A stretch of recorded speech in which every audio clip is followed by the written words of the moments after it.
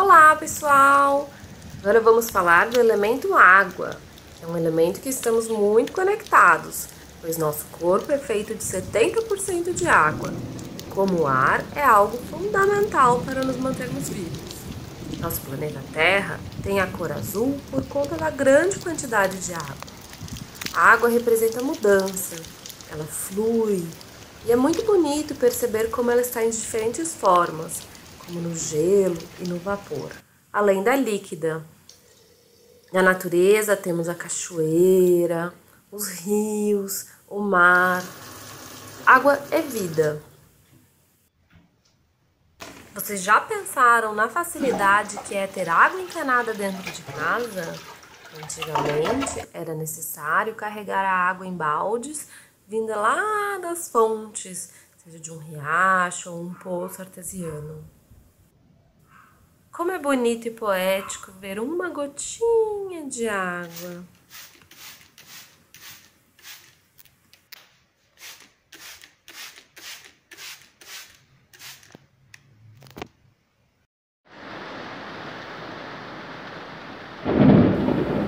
Agora sinta a água agir em seu corpo. Tome um copo d'água, percebendo cada gole e a saúde entrando em seu corpo. Tome um banho de chuva, de mangueira e até de chuveiro. Com moderação, sem desperdício de água. Num dia de calor, também é gostoso brincadeiras com os amigos, como guerra de bexiga d'água. Agora eu vou dar uma dica para vocês: é o escalda-pés.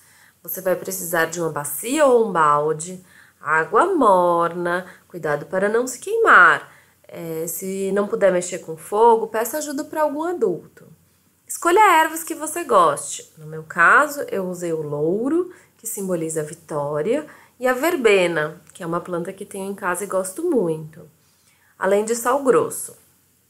Você pode pesquisar mais das propriedades das ervas que você deseja usar. No YouTube tem vários vídeos explicando as propriedades de uma planta.